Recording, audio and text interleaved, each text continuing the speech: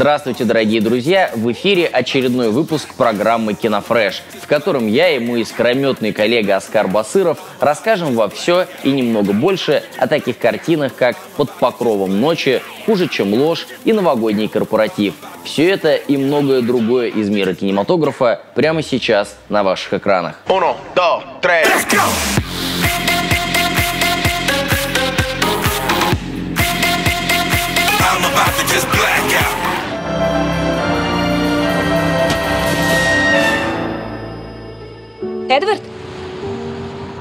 Сьюзан, привет! Как твои дела? Ты просто неотразима, как и всегда. Известнейший американский модельер Том Форд в 2009 году дебютировал в режиссуре с пронзительной мелодрамой «Одинокий мужчина». На этой неделе мы дождались его вторую работу «Под покровом ночи».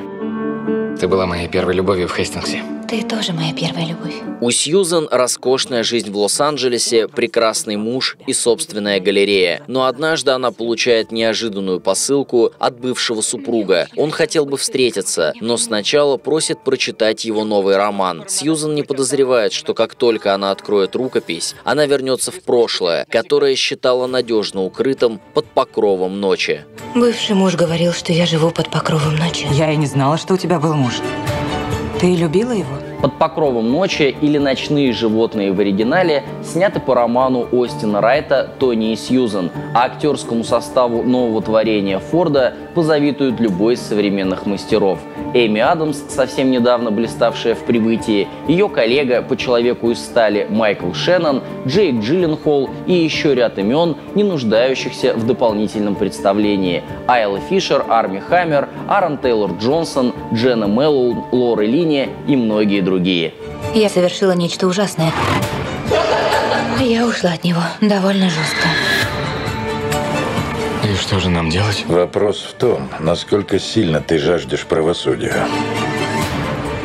Отзывы и оценки под покровом ночи не уступают первой работе Форда. И фильм также был отмечен на Венецианском кинофестивале, на этот раз специальным призом жюри. Подобная творческая удача способна записать имя Тома Форда в список тех авторов, чьи работы ждут киноманы по всему миру. Но чем же так хороши ночные животные? Давайте будем разбираться в нашей специальной рубрике с приглашенным гостем.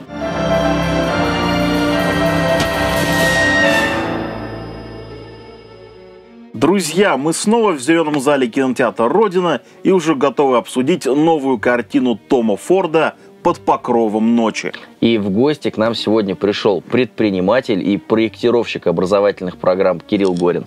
Привет. Привет. Как тебе этот фильм в целом? Это совсем необычное и неразвлекательное кино, так по мне. Мгм.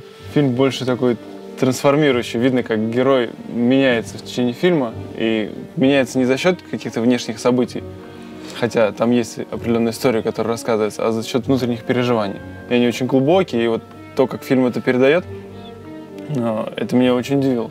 Но мне кажется, там не один герой проходит определенную трансформацию.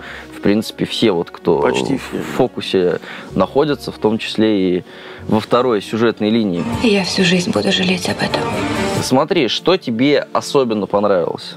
Что бы ты для себя выделил? Что бы я точно выделил, это вот насколько красивая картинка выстроена режиссером, насколько каждый кадр, он действительно Но он все-таки модельер, дизайнер, он как бы, у него должна быть красивая картинка, а не трясущаяся камера, знаешь. И вся архитектура, которая выстроена, все вот эти моменты, где происходила съемка, особенно вот то, что там показывалось как настоящее время, в этом, конечно, очень-очень красивая картинка. Смотри, э, есть все-таки история в истории. Одна, это, как ты уже сказал, с такой гипертрофированно э, красивой, такой матовой немного картинкой. Богатых голливудцев. Да, с обеспеченных людей, у которых вполне себе антропологические проблемы, взаимоотношения и так далее. И как раз-таки непосредственно сам триллер, который вынесен в название «Ночные животные». Как ты считаешь, выделяется как одна история на фоне другой, или они вот именно структурно друг друга дополняют? Очень хорошо вписаны вот эти истории, и, может быть, если идти глубже, их может быть и не две, и они очень друг друга дополняют. И вот этот момент переключения, и даже съемка кадров, когда заканчивается кадр только из одной истории. Ну, те же самые эпизоды в ванной или в душе почему-то. Да, она читает книгу и прерывается в перекликиваются, да. какой-то момент. Ну, вообще, тема с душем и ванной там такая общая какое-то и очищение, одиночество, я не знаю, как это так. Ну да, и Всё ночью это- она не спит и почему-то вот где-то там себя находит ближе к воде. Как твоя бессонница? Ты напугала меня во время нашего последнего разговора. Неужели забыла? Я никогда не сплю. Кто тебе из героев и из актеров, их игравших, вот лично тебе приглянулся? Это, возможно, тот полицейский, который... Майкл Шеннон, да. Мне тоже он. Но он э, такому человеку, мне кажется, хочется и, и сопереживать, и им как-то хочется гордиться, потому что он, он, так скажем, не подвел наше доверие ни разу за фильм. Но вот он действовал на максимальной силе, вот в своей позиции, как только мог. И подкупал, конечно. Он был очень эффективный, скажем так. Да, он старался и, и действовал даже. Пусть в аду поломают головы, думая, как мы это обставим. Два основных актера, Джейк Джилленхол, который сыграл две роли сразу, и Эми Адамс, ну, которая, по большому счету, тоже сыграла две роли, себя в настоящем и се- и себя в прошлом. Как бы ты оценил их Заметил, игру? кстати, что в последнее время сейчас как-то вот э, элегантно обходит это все. То есть раньше там какие-то сложные гримы были, там на 20 лет раньше, да. Сейчас как-то вот компьютерно затерли парятся. и реально, и в принципе нормально Да, смотрится. Я да. даже удивился, думаю, хорошо сделали. Да, Ладно, не согласен. об этом. Согласен. Как оцениваешь ты работу Эми Адамс? Ну, если начать как женщина, то очень сильно запомнились это ее глаза. Эти глаза, которые герой назвал в фильме грустными, но в них действительно что-то есть, и они сильно отличаются от всех других. У нас с инопланетянами общался просто пару недель назад. Да, ты можешь обобщить на Прибытие. самом деле с фильмом «Прибытие», вот как тебе вообще крайние ее роли? Дал бы ты ей Оскар? Но вот возвращаясь к этому фильму, в этом я точно увидел вот эту самую трансформацию, вот то, как ее внутреннее переживание, без какой-либо там внешних действий. Она читала только книгу, но в этот же самый момент а, происходили очень сильные вну- внутренние изменения, и это она смогла передать, и я это почувствовал. Я совершила нечто ужасное. Я ушла от него довольно жестко. Хорошо, ну а персонажи, которых сыграл Джейк Джилленхол? И вот этот страх, то, что он что-то не выполнил или как-то не проявился, который он несет через всю жизнь, очень похож, ну, мне напомнил, что есть у нас события в жизни, которые, за которые мы испытываем чувство вины или за которых нам до сих пор страшно, но они уже прошли когда-то в прошлом. И некоторые люди, не- немногие, которые несут в себе эти страхи и чувство вины вот так же через Не могут жизнь отпустить? н- не могут отпустить или справиться, и очень много жалеют о прошлом. Кстати, в фильме совсем нету будущего. Любое Да, вот, кстати, упоминание интересная мысль. будущего, которое там есть, это упоминание о смерти. Больше никаких упоминаний о будущем, как о чем-то светлом, о том, что что-то наступит, и они чего-то от него ожидают, нету. Очень огромный массив как бы, фильма «Это все в прошлом». Мгм. Показывают вот эти небольшие моменты настоящего, и то в тот момент, когда герой в настоящем времени вспоминает прошлое. Это в фильме точно не понравилось, вот отсутствие этого будущего. Не понравилось, э, некомфортно это было? Да, я Тяжелая мысль? Да, я ну, предпочел меньше такой фильм смотреть. Мне, наоборот, больше увлекают и захватывают те фильмы, где как раз-таки этого будущего много. Вам приходилось ощущать неподвластность происходящего? Хорошо, будем закругляться. Кому ты этот фильм посоветуешь посмотреть? Какая аудитория у него? Посоветую тем людям, которые смотрели ранее фильм, фильмы Тома Форда и им понравился. Тем людям, у которых э, есть какие-то чувства вины за какое-то прошлое, страхи того, как они когда-то поступили. И очень интересно взглянуть, как вот ну, герой это проживает. Может быть, это позволит как-то это в себе увидеть. Ну что ж, друзья, если вы любите интересное авторское кино, при этом жанрово авторское, как удивительно Мгм. оказалось в этот раз, то оцените новую работу Тома Форда с ужасным российским названием «Под покровом ночи», также известную как «Ночные животные». И если вы действительно хотите увидеть сильную кинематографическую работу под конец года, то это именно то самое кино. Никому не позволено безнаказанно совершать подобное. Даже ей. Под покровом ночи. Смотрите в кинотеатрах с 8 декабря.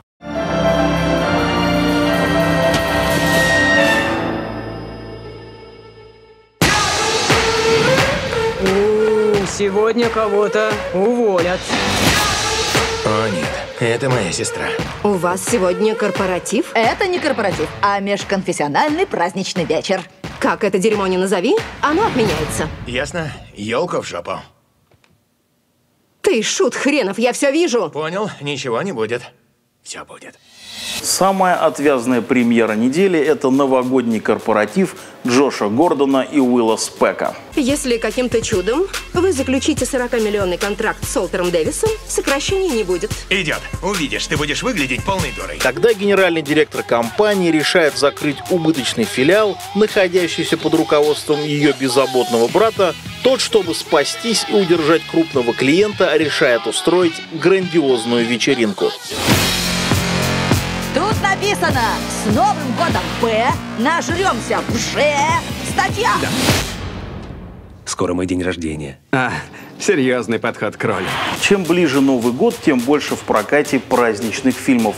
Если большинство из них пропагандирует семейные ценности и передает праздничный дух, то есть и такие, где вся эта новогодняя мишура, в общем-то, и не нужна. Новогодний корпоратив как раз из таких. Все готово. С Новым годом, веселиться? У нас тут отвязная вечеринка, а буква столько хоть залейте. И кому ты это пошлешь? Каждому ублюдку в Чикаго. Главные роли здесь исполнили такие актеры, как Ти Джей Миллер, Оливия Ман, Джейсон Бейтман, Роб Кордри и даже Дженнифер Энистон. Ну а в креслах режиссеров здесь постановщики таких картин, как «Лезвие славы», «Звезды на льду» и «Больше, чем друг» Джош Гордон и Уилл Спек. Ваши действия будут иметь последствия, которые будут преследовать вас до конца вашей профессиональной жизни. Тормози сейчас же, или я вышибу тебе мозги. Я люблю Америку! Если вы любите ленты про выходящие из-под контроля безбашенные вечеринки, вокруг которых, собственно, и строится основной сюжет, то картина явно придется вам по душе. Остальные же могут просто пройти мимо. Новогодний корпоратив. Отжигай, чтобы не уволили.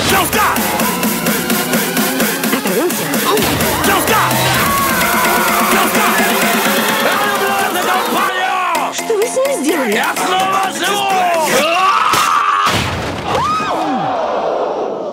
Ведь могло получиться.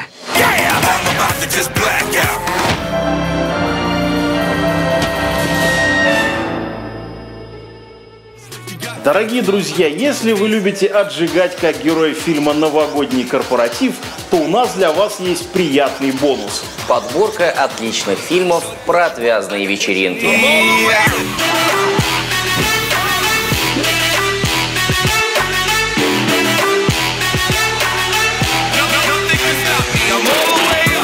перцы Грега Моттолы. Смотри, она бюст уменьшила. Что? Это же плевок в лицо Господа! Зато теперь бегать сможет. Творческий дуэт канадцев Сета Рогина и Эвана Голдберга подарил нам немало веселых минут, ведь на их счету куча смешных комедий от «Ананасового экспресса» до полного расколбаса. Вы кто? Мы не портящиеся, motherfucker. Но дебютной их сценарной работой в большом кино стала молодежная комедия «Супер перцы». Как делишки, мафия? На смену подростковым героям конца 90-х и начала нулевых пришло новое поколение. Еще более инфантильное и неуверенное в себе. Проблемы у них, впрочем, все те же. Трое главных героев, Сет, Эван и Фогель, хотят расстаться с девственностью до выпускного. И когда их приглашают на вечеринку, друзья понимают, что это лучший шанс. Однако для того, чтобы туда пойти, им нужно купить алкоголь. Мы ведь бухлище принесем, значит, все девчонки наши. С этого и начинается их самый безумный день в жизни. В картине снялись еще юные и малоизвестные Майкл Сара, Кристофер Минспласса, Джона Хилл и Эмма Стоун, которым помогают старшие товарищи Билл Хейдер и Сет Роген. Паразит. А, Спортсмен, наверное. Супер перцы – это смешной и одновременно трогательный фильм, который мы запомним по Мактрахеру. Мактрахер? Клевое имя. Да, прикольно. Что? Что? Молодца! Сценам с копами и, конечно же, по вечеринке, пройдя которую главные герои по-настоящему выросли и уже готовы вступить в взрослую жизнь. Что? Суперперцы! Альдус Сноу и его побег из Вегаса. Скоро десятилетие концерта Альдуса Сноу в Грик Театр. Можно сбацать юбилейный концерт. В 2009 году режиссер Николас Столлер и сценарист Джейсон Сигел выпустили картину «Забывая Сару Маршалл», цинично названную в нашем прокате «В пролете». Именно так впервые появился Альдус Сноу, собирательный образ британского рок-героя, буквально собранного из повадок Роберта Планта, Мика Джаггера, братьев Галлахер и Пита Доерти. Oh,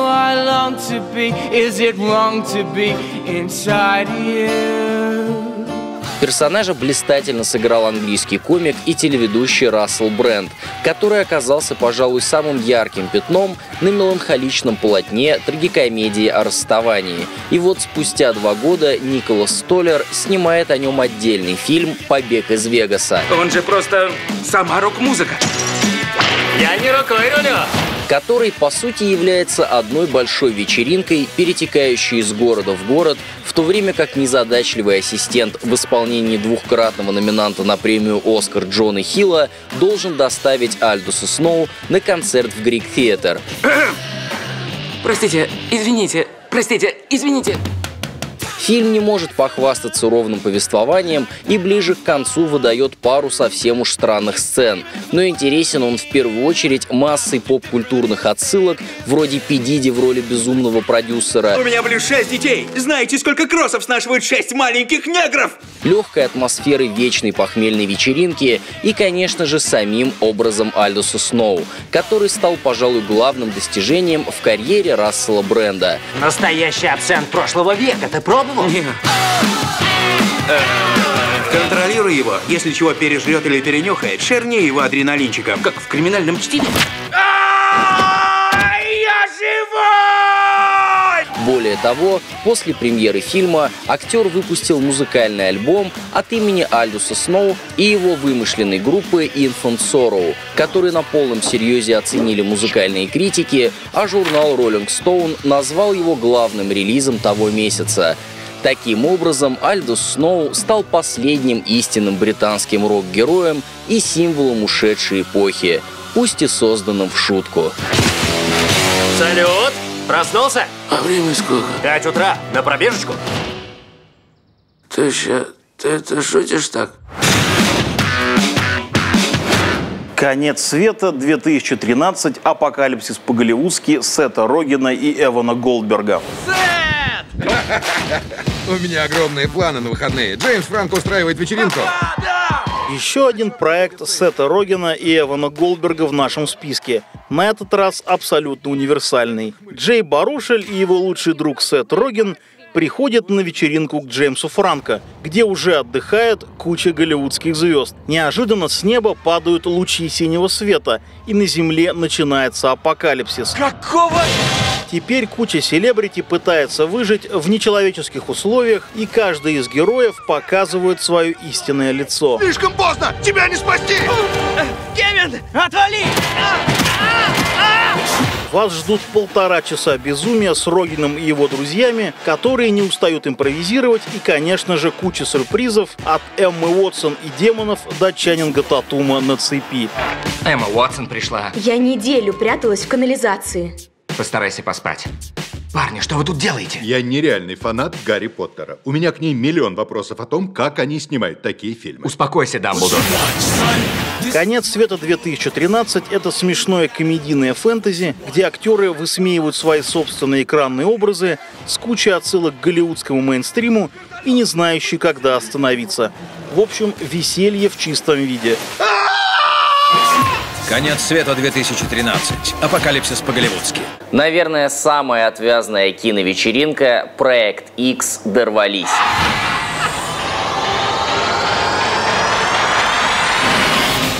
Меня зовут Томас Кап, у меня сегодня день рождения. Обязательно приходи. Это на улице Диккенса. Так это у тебя вечеринка на Диккенса? Это вы устраиваете? Обязательно приду. Говорят, дикая тема. Круто. Давай, до встречи. Что? Занимайтесь своим делом, леди. Спустя три года после выхода другой безумной вечеринки под названием «Мальчишник в Вегасе» режиссер Тодд Филлипс спродюсировал картину «Проект X дорвались», которая на поверку оказалась куда жестче и отвязнее своего предшественника. Здесь гораздо больше ста человек. Конечно, пришли все плюс один. Снятая в актуальном для того времени формате мокюментари, история рассказывала о трех приятелях, решивших закатить эпичную тусовку в честь дня рождения одного из них. Разумеется, парни не пользовались особым успехом в школе, иначе они бы знали простое правило. Крутые не устраивают вечеринок, а ходят на них. В итоге на мероприятии собралась не одна сотня людей и началась форменная вакханалия с участием садового гнома, набитого экстази, карликом в духовке, Майлзом Тейлером и наркоторговцем, решившим спалить район из огнемета. В какой-то момент смотреть проект X становится попросту некомфортно, так как обезумевшие от алкоголя, наркотиков и вседозволенности молодые люди уже не выглядят забавно или круто. Плюс навязчивая мысль, не покидающая весь фильм. Кто это все будет убирать? У нас целый день, чтобы дом засверкал, как новенький. Это как, если родители увидят запись? Да никто это не увидит, клянусь. Некоторое время муссировались слухи о продолжении, однако на данный момент нет никакой конкретной информации. Главные герои периодически появляются на втором плане в разных проектах, а режиссер Нима Нуриадзе с тех пор снял только одну довольно странную картину «Ультраамериканцы». Да он профи экстра-класса. Наше творение, которое стало угрозой. Весь город решил подорвать. Лови!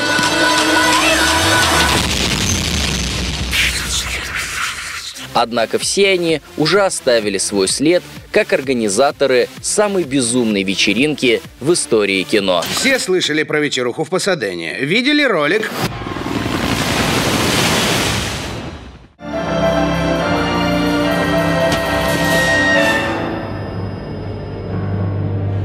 Я сделал себе имя на том, что ловил проворовавшихся банкиров и директоров по эту сторону линии Мейсона. Продюсер и сценарист многих сериальных проектов, включая «Тайны Смолвиля» Шинтаро Шимосава, на этой неделе дебютирует в режиссуре и выпускает в прокат триллер «Хуже, чем ложь». Хиллс говорит, у вас что-то есть. В Pierson Pharmaceuticals. Нужно дискредитировать Деннинга любой ценой. По официальным данным, его состояние оценивается в 8,5 миллиардов. Новые факты прольют на это свет и все изменят. Мне известно, у вас есть данные, которые были незаконно украдены с моего компьютера. Если Деннинг узнает, что ты слила данные, тебе конец. Это только начало. Когда амбициозный молодой юрист берется за большое дело против влиятельного и безжалостного исполнительного директора крупной фармацевтической компании, он оказывается втянут в мир шантажа и коррупции. С ней что-нибудь сделали? Да. Ты разбудил зверя. Он не уймется.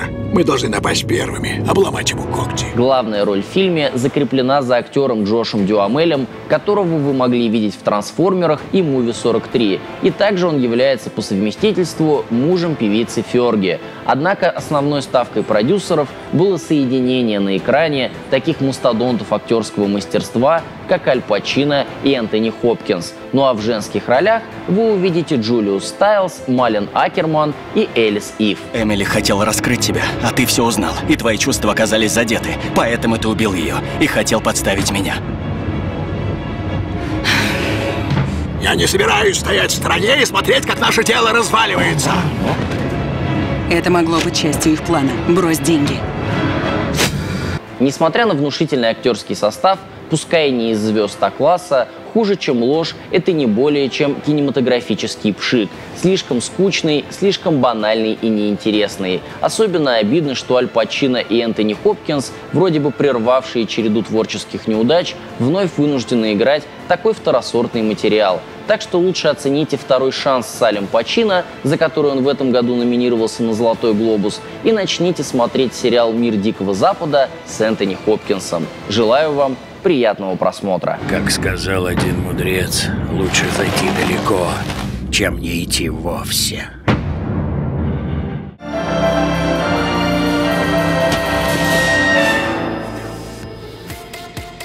Вот и все на сегодня. Надеемся, вам все понравилось и вы выбрали картину себе по душе. Вступайте в нашу группу ВКонтакте и подписывайтесь на канал Vimeo. С вами была программа Кинофреш. Увидимся в кино.